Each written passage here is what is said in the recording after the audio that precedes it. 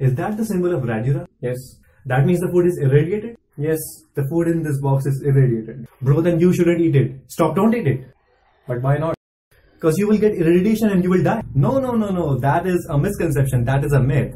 Are you the one who also thinks that the irradiated food is unsafe to consume?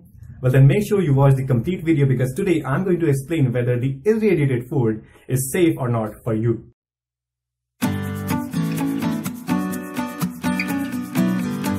How are you doing today? It Feels so good to be back after a break of one month. If you already know me, welcome back to the channel. If you are new here, then I am Arif Irshad and I make simple and easy to understand lectures, videos and tutorials for the students like you who study food science and food technology. So make sure you click the subscribe button and the bell icon as well so that you don't miss my upcoming videos. FSSAI has been working really hard to create awareness among the consumers and the food business operators. And recently they released a guidance note uh, suggesting that the irradiated food is safe to consume and they busted the myths of the irradiation and the irradiated food. This video and the other videos in this video series are based on the guidance note that was provided by the FSSAI. And if you want to uh, understand that, if you want to download that the guidance note that was provided by the FSSAI, I will provide a link down in the description so that you can download for yourself.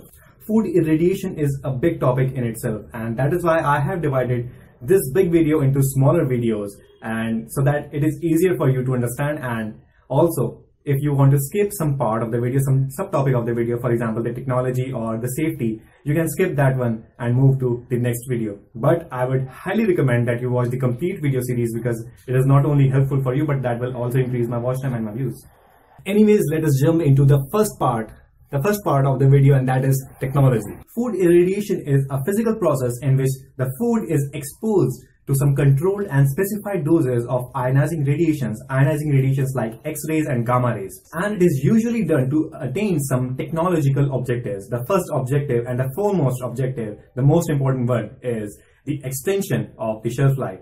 The second objective is the destruction of the pathogens, pests and insects. The process involves exposing the food to some controlled and specified dosage of ionizing radiations in a biologically shielded container. Notice the two terms that I have used here, specified and controlled. Now, this is super important to understand for the consumers that what is specified and what is controlled.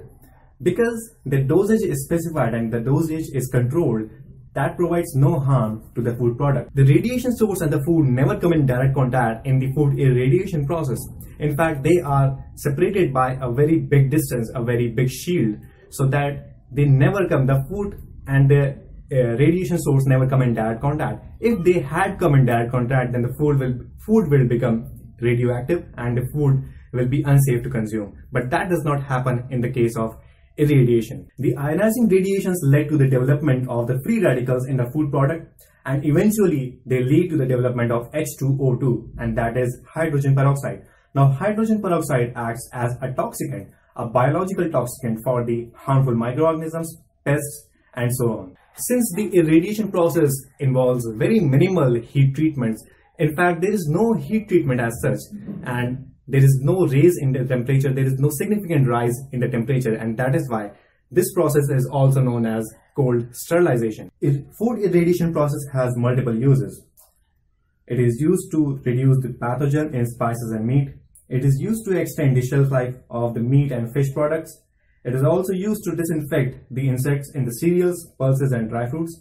And it is also used to inhibit the sprouts in onion, potato, garlic and ginger. So this was part 1 of the irradiated food series and if you want to watch the part 2 and that I highly recommend, I will link that in the description, the second part of this video or it must be popping up somewhere on the screen right now.